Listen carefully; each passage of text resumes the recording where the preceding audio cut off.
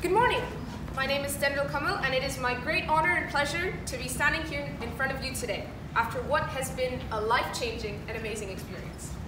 I was able to conduct my experiment upthrust in microgravity with the help of this apparatus on a zero-gravity inducing parabolic flight in Florida, USA on the 4th of October. Newton discovered the law of gravity, and Archimedes discovered the law of buoyancy. My experiment tested the relationship between these two laws. Here's the apparatus that I used to conduct my experiment with. Put simply, it consists of a 50 centimeter tall, watertight column filled with water. Inside here is an orange ball filled with air that also has a metal tack attached with hot glue.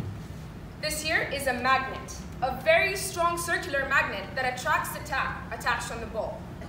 This magnet helps hold the ball down against the buoyant force exerted by the water column. This ball should float when released, on Earth at least. This is because of the buoyant force being stronger than the gravity acting upon it. Let's test this, shall we? On average, it takes the ball 1 second and 800 milliseconds to reach the top, on Earth. So I wondered, what would happen to the ball when it was released somewhere there was none or very less gravity? Would it still float to the top? Would it not move at all? On Earth, gravity can't be switched off with the help of a button, right? Although it would be cooler if that was the case.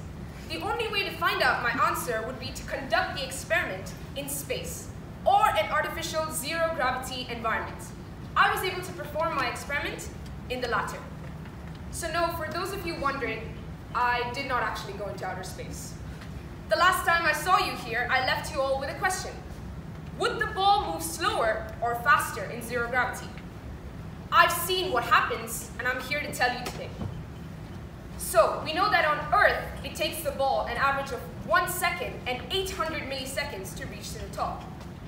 In lunar gravity, which is the gravity you can experience on the moon, which is 0.16 g, that is 84% lesser than what you are experiencing right now. It takes the ball 7 seconds to reach the top. And in Martian gravity, which is the gravity you can experience on Mars, which is 0.38 g, that is 62% lesser than Earth gravity, it takes the ball 4 seconds, 930 milliseconds to reach the top. And in 0g, which is obviously 100% lesser, being 0, the ball didn't move at all. Buoyancy and gravity are therefore directly proportional according to my findings. It was a fantastic experience. I did a few push-ups in lunar gravity with little to no effort at all. I wished on the plane that all PE classes were in lunar gravity so I don't actually have to do much work. Another experience on the plane was the feeling of hypergravity. When the plane goes directly upwards, the gravity exerted on you is like having two people that weigh the same as you, pushing you down and not letting you get up. I wondered how my experiment would act in hypergravity. I requested the flight controller for permission to conduct my experiment in hypergravity as well. She reluctantly agreed and advised me to make sure my head didn't fall below my shoulders. Bravely, I exerted a lot of force to conduct the experiment. It was like having two Thendrals pushing me down, and I struggled, reached out, and pulled the magnet. It took the ball just 500 milliseconds to reach the top. Overall, it was an amazing experience. I even did a complete somersault in zero gravity. That is something I can't even imagine doing on Earth. I floated. I felt, for the very first time, what it was like to be an astronaut. I feel honored to have experienced this and if it's, if it's one message I can leave with you today, it's to follow your dreams. No matter what anyone says.